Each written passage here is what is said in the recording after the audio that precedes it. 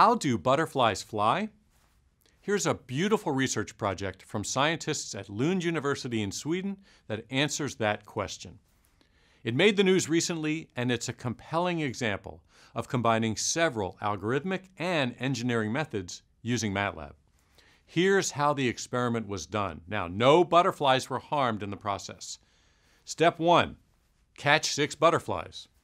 The researchers caught them in a meadow outside their field station. Step two, weigh them. I've got lots of pictures in my mind of tiny butterfly scales. Step three, put the butterflies in a wind tunnel. Slow moving wind, no doubt. Place them on a small feeder in the wind tunnel and wait for them to take off on their own. Step four, introduce tiny particles into the wind tunnel to make the airflow visible and take pictures with four high-speed cameras.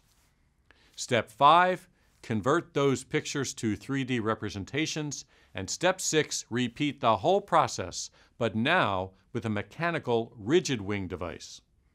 And finally, compare the aerodynamic performance of the butterflies to the mechanical wing.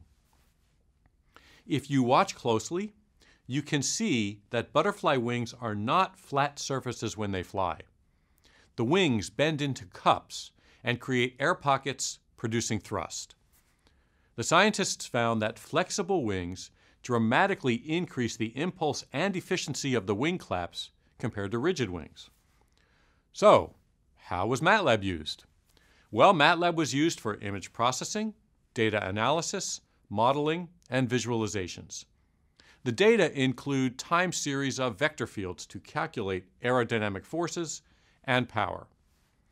The researchers used MATLAB to analyze the kinematics of the butterflies by tracking the motion of various morphological markers from high-speed videos.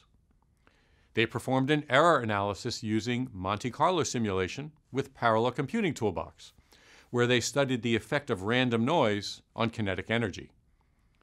This was a sophisticated science experiment.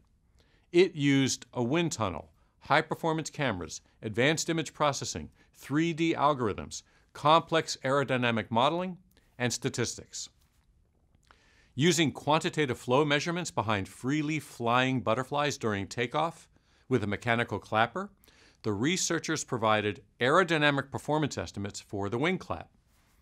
They found that flexible wings increase the useful impulse by 22% and the efficiency by 28% of the clap compared to rigid wings.